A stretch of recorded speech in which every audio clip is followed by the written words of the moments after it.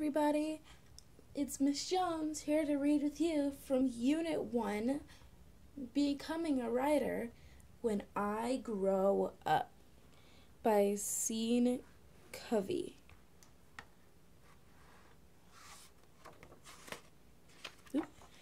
When I grow up.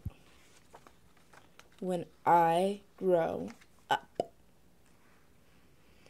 It was time for Tag Along to Allie to go to bed.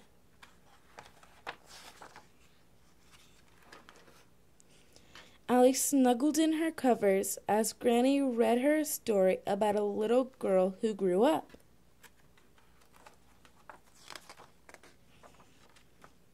Granny finished the story and gave Allie a kiss. Time to go to sleep, said Granny.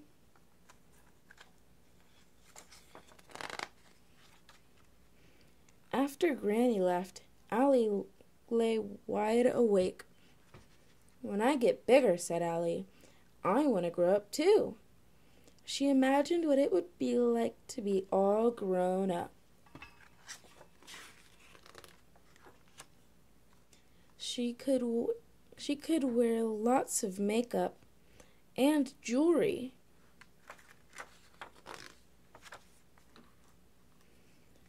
Walk to the grocery store all by herself, make yummy food, write her very own book, go to work,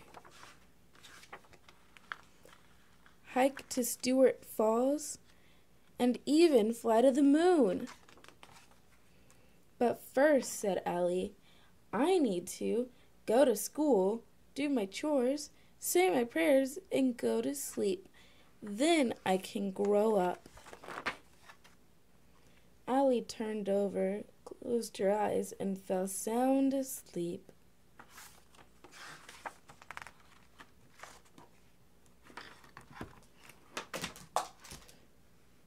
That was When I Grow Up by Sean Covey.